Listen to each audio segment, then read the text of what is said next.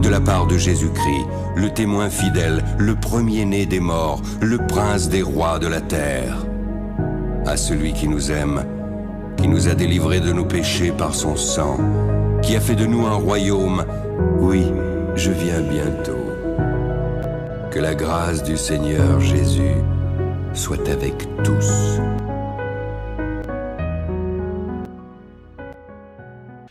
Bonjour à tous chers frères et sœurs, j'espère que vous allez bien, moi ça va très très bien. Donc aujourd'hui je vous fais une vidéo qui sera pas forcément très très longue, mais une vidéo qui va nous euh, révéler quelque chose quand même qui est assez incroyable. Euh, il s'agit en fait d'un rabbin euh, qui est assez connu sur YouTube, qui doit être suivi à peu près par 60 000 personnes, et qui est très assidu dans les exhortations, notamment sur la Torah. En fait là ce rabbin, très récemment, a fait donc une vidéo expliquant euh, dans cette vidéo que il aurait entendu dire par des gens qui sont proches de l'Antéchrist que euh, le Messie est en train d'arriver. Donc le Messie, nous savons aujourd'hui que ce Messie, euh, pour justement le peuple hébreu, peuple juif, n'est absolument pas le Messie biblique, mais plutôt l'Antichrist. Alors eux pensent que c'est le Messie parce qu'ils n'ont pas reconnu Jésus-Christ, mais nous, nous savons que Jésus-Christ nous a annoncé par la parole de Dieu, donc par la Bible, qu'un antichrist doit venir. Donc quelqu'un qui se fera passer pour le Messie euh, et qui sera tout simplement le fils de la perdition, l'antichrist. Donc il a fait une vidéo de deux minutes que je vous laisse écouter et on va pouvoir justement voir un petit peu après euh, eh ben, qu'est-ce qu'il en ressort exactement et euh, est-ce que justement l'antichrist est aujourd'hui au milieu de nous, peut-être dans l'ombre ou peut-être de manière visible. On va essayer de parler de tout ça juste après cette vidéo, donc là je vous laisse regarder et on se retrouve dans quelques minutes.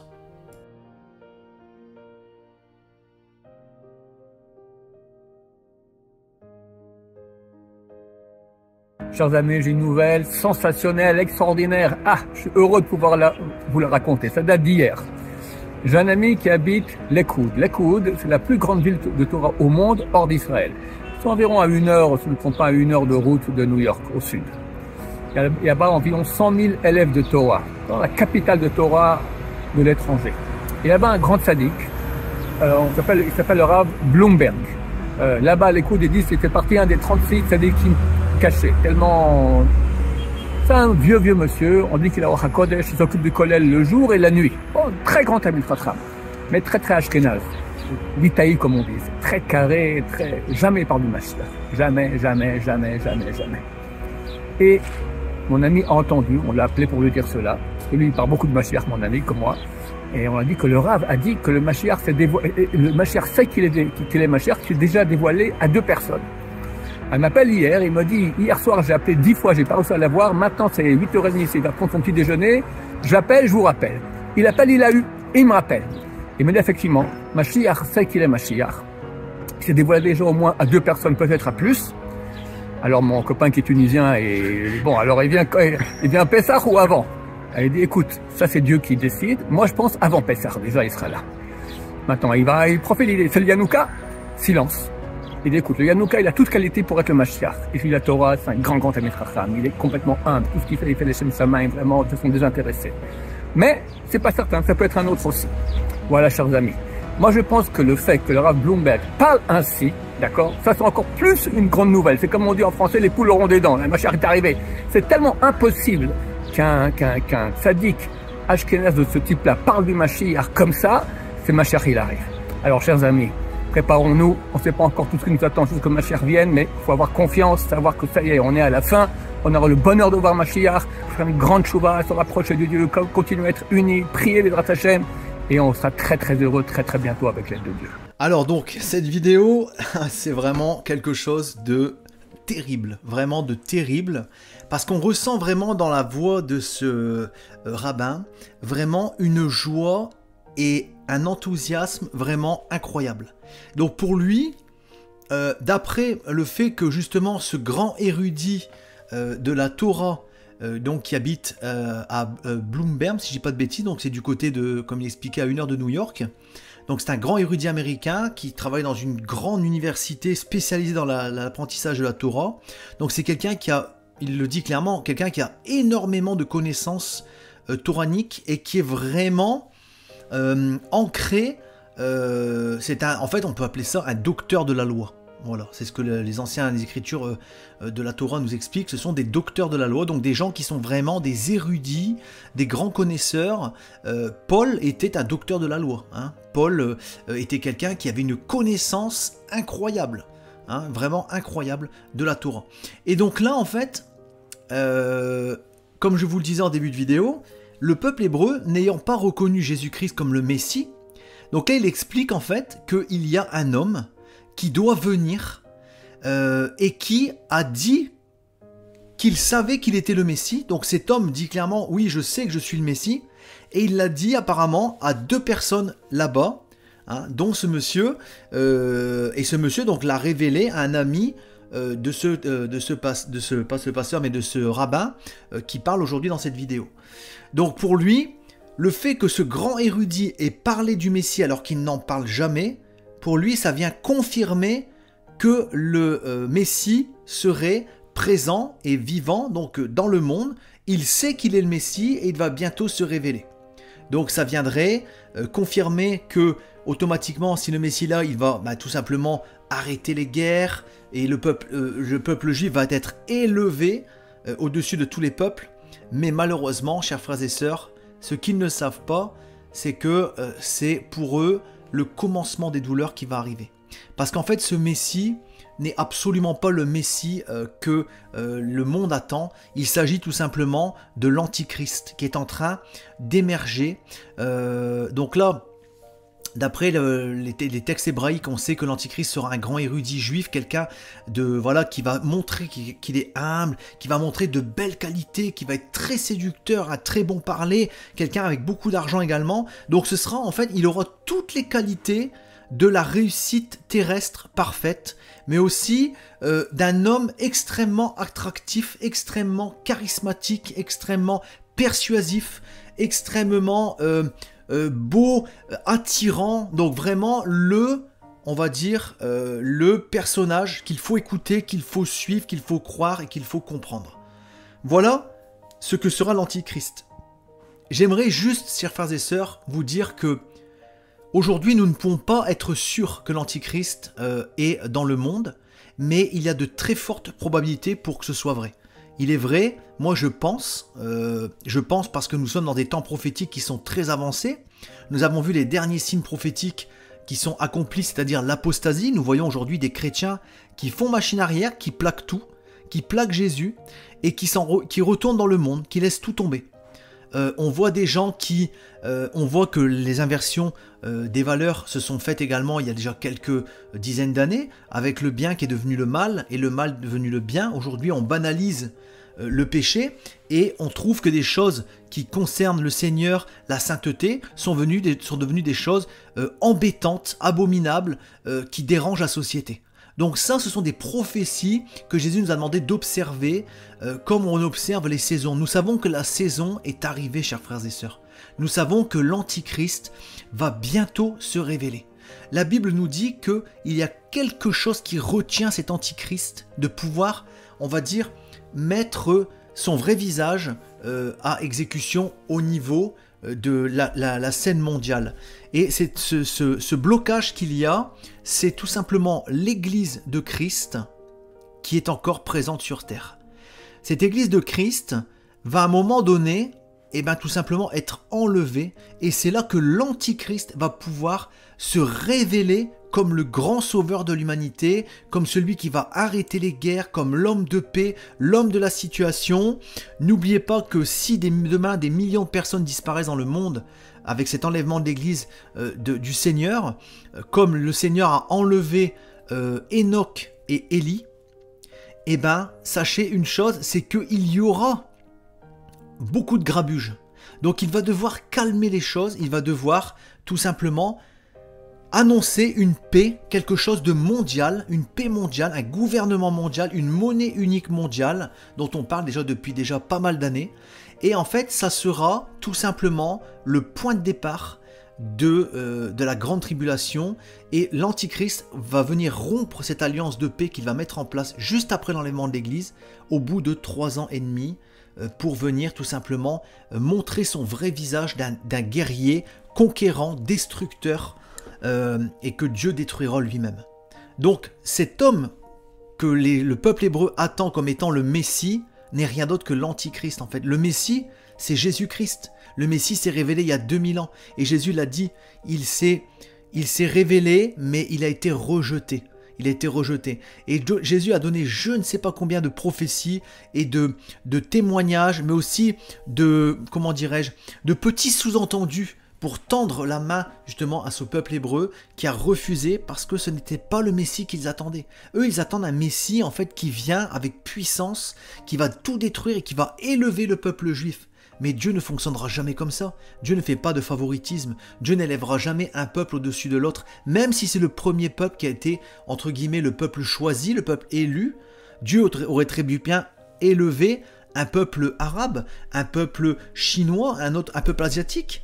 C'est juste parce qu'il a choisi ce peuple-là pour commencer par rapport à des promesses qu'il avait fait dans l'Ancien Testament, notamment à Abraham.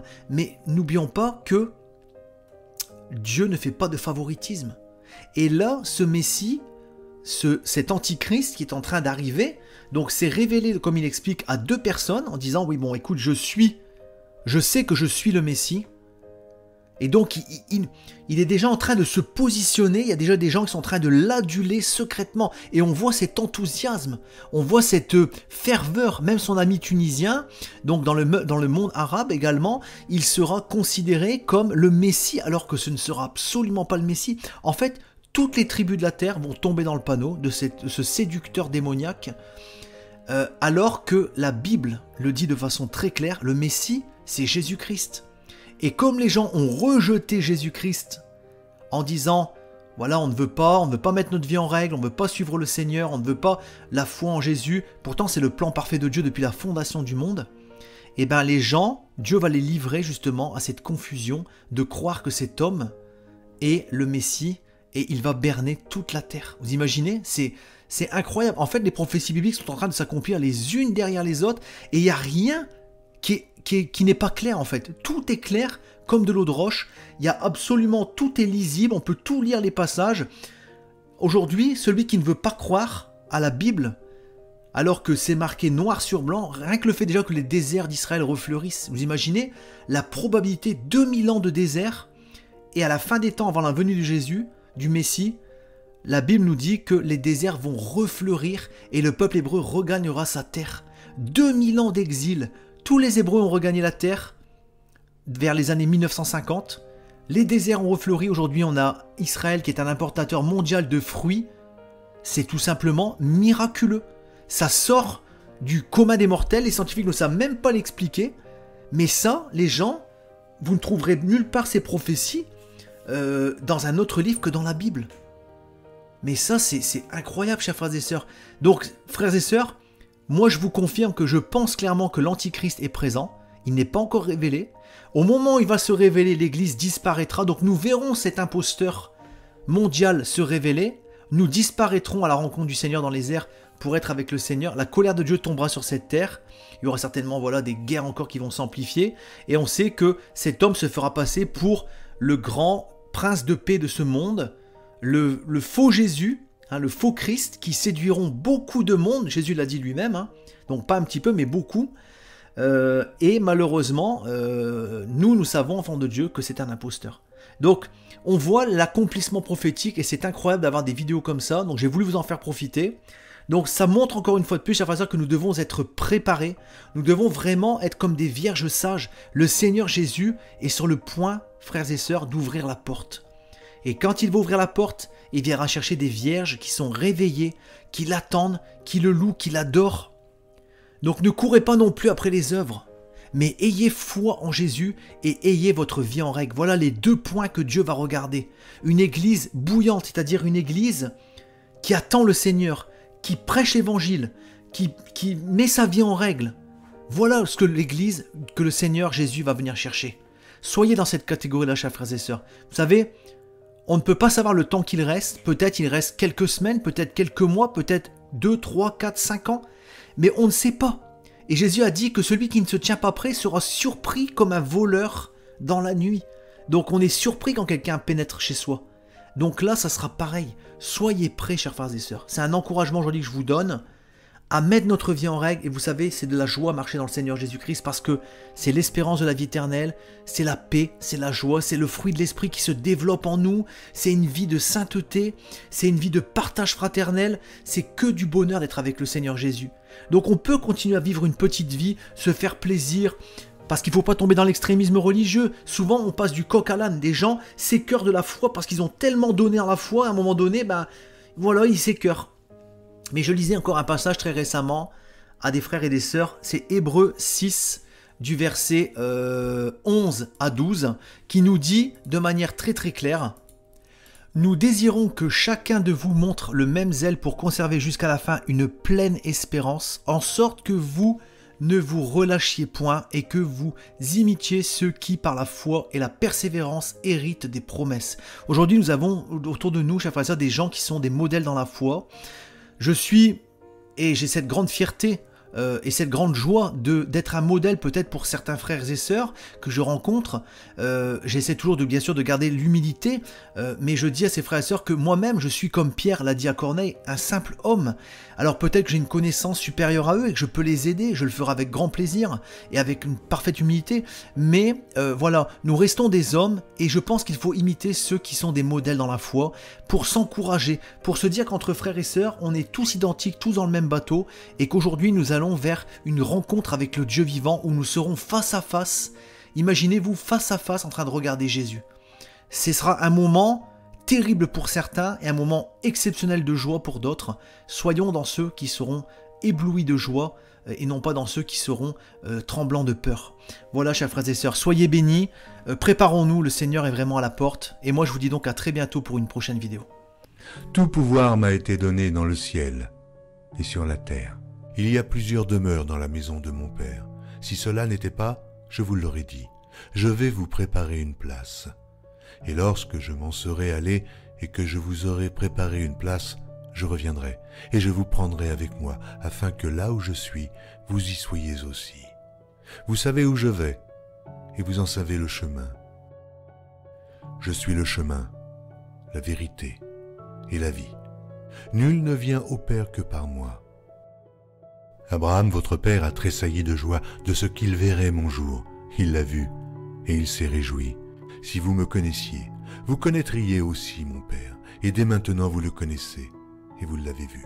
Et je vous le dis, avant qu'Abraham fût, je suis. Seigneur, montre-nous le Père, et cela nous suffit. Jésus lui dit, Il y a si longtemps que je suis avec vous, et tu ne m'as pas connu, Philippe. Celui qui m'a vu a vu le Père. Comment dis-tu, montre-nous le Père? Cette bonne nouvelle du royaume sera prêchée dans le monde entier pour servir de témoignage à toutes les nations. Celui qui croira et qui sera baptisé sera sauvé, mais celui qui ne croira pas sera condamné. Je m'étonne que vous vous détourniez si promptement de celui qui vous a appelé par la grâce de Christ pour passer à un autre évangile. Aucun mensonge ne vient de la vérité. Sinon celui qui nie que Jésus est le Christ, celui-là est l'antéchrist, qui nie le Père et le Fils. Quiconque nie le Fils n'a point non plus le Père. Quand un ange du ciel annoncerait un autre évangile que celui que nous vous avons prêché, qu'il soit anathème. Moi, Jésus, j'ai envoyé mon ange pour vous attester ces choses. Je le déclare à quiconque entend les paroles de la prophétie de ce livre. Si quelqu'un y ajoute quelque chose, Dieu le frappera des fléaux décrits dans ce livre. Et si quelqu'un retranche quelque chose des paroles du livre de cette prophétie, Dieu retranchera sa part de l'arbre de la vie et de la ville sainte décrits dans ce livre. Ces paroles sont certaines et véritables. Et le Seigneur, le Dieu des esprits des prophètes, a envoyé son ange pour montrer à ses serviteurs les choses qui doivent arriver bientôt. Et voici, je viens bientôt. Heureux celui qui garde les paroles de la prophétie de ce livre.